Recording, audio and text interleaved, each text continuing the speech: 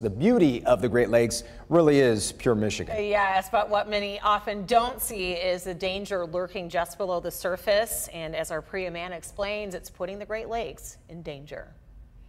Along the shores of Lake Erie and Rockwood, which is just south of Gibraltar, it is beautiful out here. But there's always the risk of invasive species destroying all that we hold dear, which is why it's important all of us do our part to ensure our Great Lakes stay great.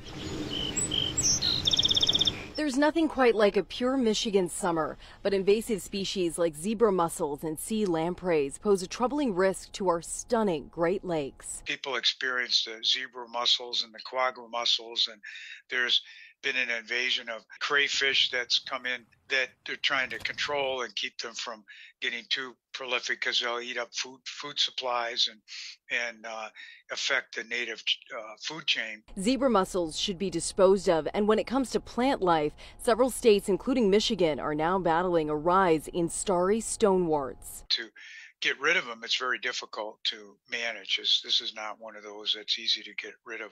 But when they get in mass, it can create problems for navigating your boat, and getting it caught up in propellers and things like that. Boaters are vital when it comes to protecting the environment and reducing the spread of invasive aquatic species. There's so much that you need to do even when you get off the water. It's not just about getting on the water having fun. The state and the U.S. Fish and Wildlife Service recommends the clean, drain, dry method. Clean off visible aquatic plants, animals, and mud from all equipment before leaving water access.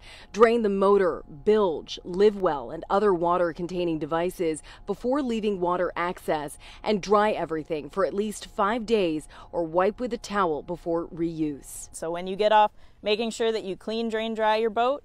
Um, looking just for any kind of uh, vegetation, any kind of animals that, like you said, might have hitchhiked and come along for the ride, and make sure that they stay on site when you take your boat to your next fun vacation. If you're fishing, stay vigilant and keep an eye out for lampreys. Experts say if you spot one on a fish, don't throw it back in the water. It latches on to fish, uh, particularly uh, game fish, salmon, and the like, and then they they basically are uh, suck blood from the uh, fish and eventually diminish them and could kill them. So far, preventative measures have kept invasive carp, also known as Asian carp, at bay across the Great Lakes. They're really disruptive to food webs, to uh, native species, and so um, it's just important to prevent establishment so that we're not stuck on the back foot and trying to remove the populations once they're here. Experts say as climate change evolves, invasive species typically found in other parts of the world are popping up in new places, including Michigan. Honestly, it's conversations like this that give me a lot of hope.